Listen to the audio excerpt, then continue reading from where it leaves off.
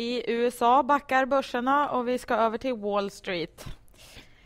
Hej du Bengt! Orderingången i USA har backat eh, 3,9 procent. Man hade väntat sig 3,1 procent. Rätt ordentlig nedgång där.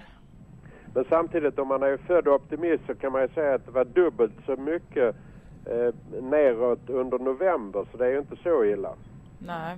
Men hur har man reagerat? Vi har också fått antalet eh, siffror som visar att antalet sökande av era motsvarigheter a-kassa ökar.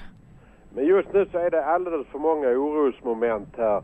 Och det gör att man vågar inte riktigt ligga på plus. Man vågar inte gå in och positionera sig. Och sen har vi jobbstatistiken imorgon också som oroar naturligtvis.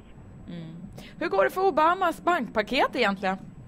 Ja, det är egentligen det som tynger allra mest nu Eh, eftersom det har kommit ut ett antal rykten under förmiddagen och morgonen om att räddningspaketet till bankerna håller man på att minska ner betydligt så det kommer eh, komma ut mycket mindre pengar till bankerna och därför faller ju de ordentligt här just nu. Mm.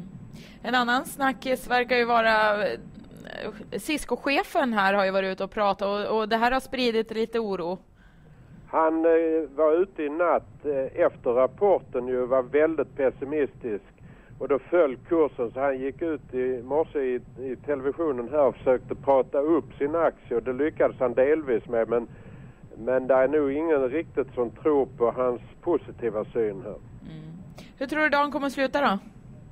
Jag tror det kommer att bli som vanligt de sista 45 minuterna mycket hög eh, volatilitet och så kommer man att titta rätt mycket på hur detaljhandelsaktierna går för där, där eh, var man lite överraskad över att det var även om de hade dåliga rapporter så har de inte sänkt sina förväntningar för resten av året och det tar man som ett positivt tecken.